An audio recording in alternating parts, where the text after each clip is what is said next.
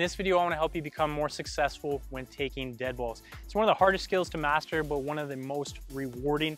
I'm actually becoming a lot better at it simply because I've been putting in the practice, analyzing professionals and analyzing my own technique constantly.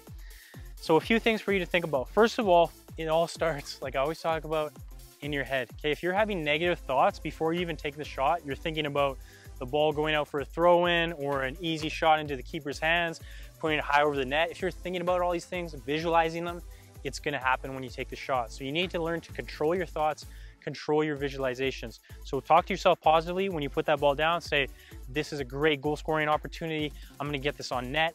I'm gonna focus on good technique. I'm gonna control everything I can control, block out all the negative stuff. Visualize this ball coming off your foot. Visualize the ball whipping, curling into the top corner, okay? Put those images in your mind and you're setting yourself up to succeed.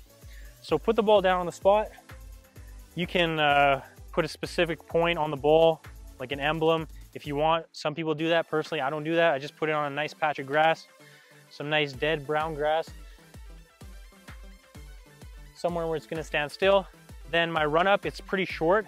Now again, these are, this is how I take free kicks. You need to find a, a rhythm, you need to find a, a pattern, you need to find a technique that is comfortable for you. You have to be comfortable and you're only gonna get that if you go to the field and you put in the practice, you get the repetitions. If you just put the ball down on game day, you've never taken a free kick all week and you expect to score and then you miss and you're upset, you really don't deserve to be upset, okay? So you have to put in the practice, find out what works for you. This is what works for me. I'll put it down. I'll take probably three, four steps, something like this distance right here, not uh, straight on like David Beckham style, whipping around it. I'm more of like a 30 degree angle, something like this. Then when I'm approaching the ball, so I'm focusing on hitting with the inside of my foot. I don't do knuckleballs. I do a nice curling free kick. I think a knuckleball is really unreliable. You might hit a good one out of every 10 or 20. So this is more consistent for me. I'm trying to hit off the inside of my foot, my big toe right there. And I'm hitting kind of on the bottom of the ball. I want to get it up over that wall and I want it to come down. Now, the way it comes down depends on my follow through, but getting it over the ball, I'm trying to hit not really low, but on the bottom third. If you're hitting and it's going too high, you're probably hitting too low on the ball. If it's going into the wall, you're probably hitting too high on the ball. So analyze your technique and make the changes.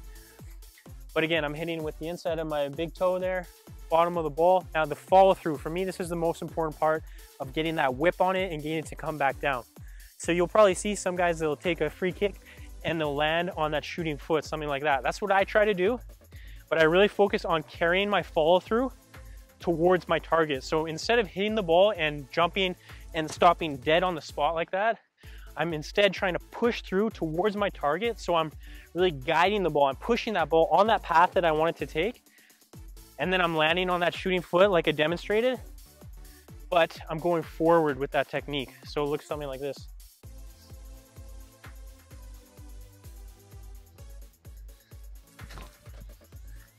just like that.